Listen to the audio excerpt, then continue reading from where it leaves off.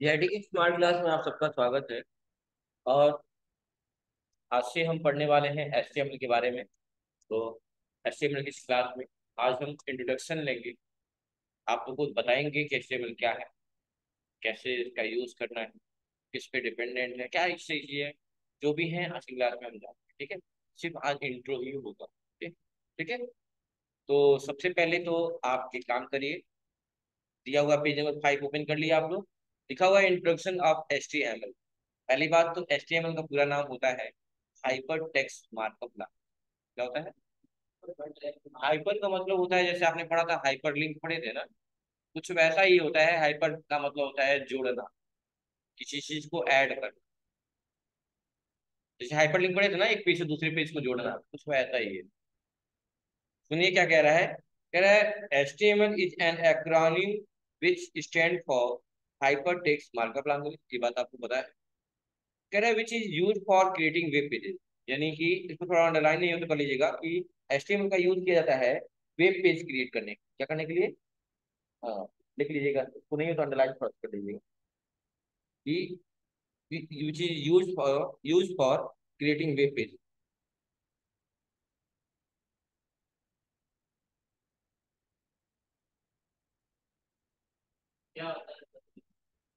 website banana web page and web application और आपको पता है एप्लीकेशन भी लैंग्वेज के माध्यम से बनाए जाते हैं, जो भी लैंग्वेज जैसे इंस्टाग्राम क्या है? अभी मेटा सॉफ्टवेयर पे काम कर रहा है, वो भी एक एप्लीकेशन सॉफ्टवेयर ही है, उसको भी बनाया गया लैंग्वेज पे। पाइथन लैंग्वेज पे की ऐसे कुछ लैंग्वेज बनाया गया ठीक है?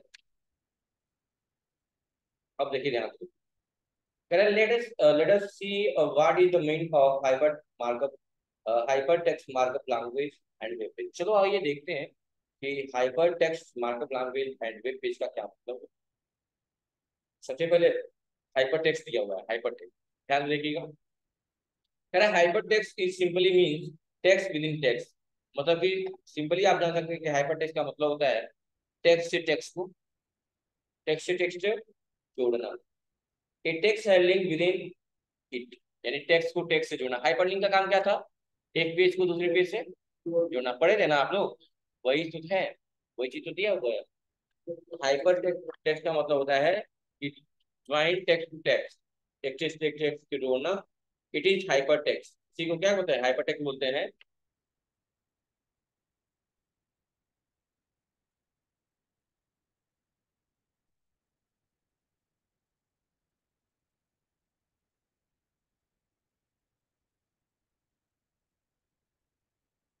ठीक है? अब देख लीजिए। अब देखिए अब मार्कअप लैंग्वेज का मतलब क्या होता है? इसमें थोड़ी कुछ लाइनें और दी हुई हैं। इसने क्या कर है? You click on a link which bring you to new page क्या होता है? एक लिंक होता है जिसपे आप क्लिक करते हैं। जिससे क्या होता है? आप नए पेज से वेब पेज से जुड़ जाते हैं। ठीक है?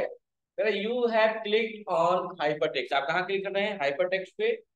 और hypertext is a way to link two or more web pages और hypertext जो क्या है एक रास्ता है जिससे आप दो से दो, दो या दो से अधिक पेजेस को आपस में क्या कर सकते जोड़ सकते अगला है मार्कअप लैंग्वेज मार्कअप लैंग्वेज क्या होता है? सही बता दें ये markup language is computer language markup language क्या है?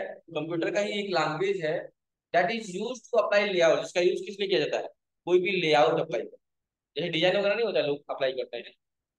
हाँ? थीम वगैरह बदलते हैं। वही layout and formatting the convection of text document और टेक्स्ट की फॉर्मेटिंग करते हैं। टेक्स्ट की फॉर्मेटिंग मतलब समझ रहे ना आप लोग? टेक्स्ट को बोल्ड बोल्ड इटैलिक जो भी करना है फॉर्मेटिंग कह रहा है markup language make text more interactive and dynamic जो मार्कअप लैंग्वेज होते हैं टेक्स्ट को क्या करते हैं? और अट्रैक्टिव बनाते आकर्षक। It can turn text into images table links मतलब जो भी आपके टेक्स्ट होते हैं, किसमें कन्वर्ट हो जाते हैं? इमेजेस में टेबल में लिंक्स में। ठीक है? वेब पेज क्या होते हैं? सुनिएगा ध्यान से। कह रहे web page is a document web page क्या होते हैं? एक डॉक्यूमेंट होता है which is commonly written in HTML जिसको कहाँ लिखे जाते हैं? साधारणतः, साधारण कहाँ लिखे जाते हैं? प्राय एचटीएमएल में लिखे जाते हैं and translated by the web browser अब किसके द्वारा ट्रांसलेट किया जाता है। कोई पूछेगा वेब पेज क्या है? तो एक वेब पेज एक डॉक्यूमेंट है। इसका यूज़ कॉमनली कहाँ किया जाता है? एचटीएमएल में। और ट्रांसलेट किया जाता है किस ट्रांसलेट किसके द्वारा? वेब ब्राउज़र के। किसके द्वारा? वेब ब्राउज़र नेक्स्ट चले। उसे क्या कर रहा है? With the help of HTML only we can create a static web page और HTML की हेल्प से हम सिर्फ़ क्या बना सकते हैं? स्टैटिक वेब पेज बना सकते हैं, ठीक है? कह रहा है hence the HTML is a markup language which is used to creating a attractive web page. इसलिए तो हम इसलिए कह सकते हैं कि जो HTML है उसका प्रयोग हम किस लिए करते हैं? वेब पेज बनाने के लिए क्रिएटिव और अट्रैक्टिव अट्रैक्टिव का मतलब ना? आकर्षण का बात कर रहा है। विद हेल्प ऑफ़ स्टाइलिंग किसकी मदद से? स्टाइलिंग की मदद से। किसकी मदद से? स्टाइलिंग की मदद ठीक है? उसके बाद क्या कह रहा है? And which look a nice format जो कैसा दिखेगा? एक नाइस फॉर्मेट अच्छा फॉर्मेट दिखेगा। कह रहे हैं ऑन वेब ब्राउज़र कहाँ पे? वेब ब्राउज़र पे। कह रहे हैं an HTML document is made of many HTML tag जो एचटीएमएल के डॉक्यूमेंट होते हैं वो बहुत सारे टैग से मिलकर बने होते हैं एचटीएमएल के टैग से मिलकर बने होते हैं एंड इस HTML tag content different different content और जो भी टैग होते हैं एचटीएमएल के, उसमें क्या होते हैं? अलग अलग क्या होते हैं? कंटेंट क्या दिए होते हैं? अलग अलग कंटेंट दिए होते हैं। अब सुनिएगा ध्यान से, क्या कह रहा है? सामने देखिए एचटीएमएल एक मार्कअप लैंग्वेज है। पूछेगा कोई क्या है? क्या कहेंगे आप? हाँ। जिसे वेब डॉक्यूमेंट यानी वेब पेज बनाने के लिए विकसित किया गया है। इसका विकास नब्बे के दशक में हुआ था, यह एक वेब पेज का आधार होता है। और वेब पेज पर एक वेबसाइट का आधार होता है, एचटीएमएल वेब डॉक्यूमेंट को बनाने के लिए टैग का इस्तेमाल किया जाता है। एक लाइन लिख लीजिए तो एचटीएमएल वेब डॉक्यूमेंट बनाने के लिए टैग का यूज़ किया जाता है। ठीक है तो क्या लिखिए?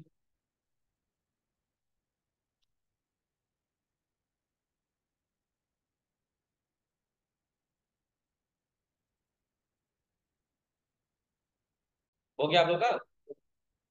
मतलब टैग का इस्तेमाल करती है। अब सुनिए क्या कह रहा है? किसी भी वेब पन्ने में, यानी वेब पेज में लिखे एचटीएमएल के अलग अलग तरह के भागों को क्या कहा जाता है? मतलब जो भी टैग होते हैं, उसके अंतर्गत जो भी एचटीएमएल को अलग अलग तरह के भागों में लिखा जाता है तो क्या कहता है? Element E L E M E N T कहा जाता है। क्या कहता है? एलिमेंट हिंदी में तत्व कहा जाता है। तो ये लाइन में लिख लीजिए तो किसी वेब पन्ने को पेज लिखेगा आप लोग। किसी वेब पेज में लिखे हुए एचटीएमएल को शॉर्ट फॉर्म में एस टी एम एल लिख लीजिएगा।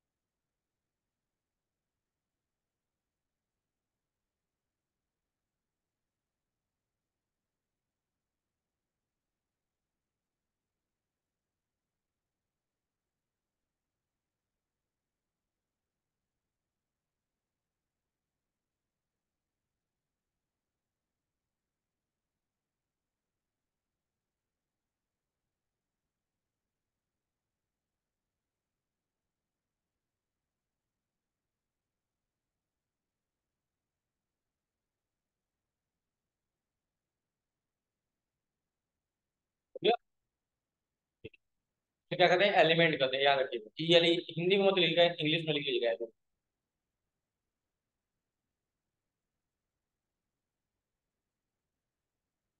अब अगला पॉइंट लिख लीजिएगा। एचटीएमएल टैग की एक श्रृंखला है। क्या है? टैग की एक श्रृंखला है। वे आपके बेस पेज को डिज़ाइन करने में आपकी मदद करता है। कौन? टैग और एचटीएमएल में चार इंपॉर्टेंट टैग होते हैं। पहला होता है एचटीएमएल दूसरा होता है टाइटल तीसरा होता है हेड और चौथा होता है बॉडी देख लीजिए।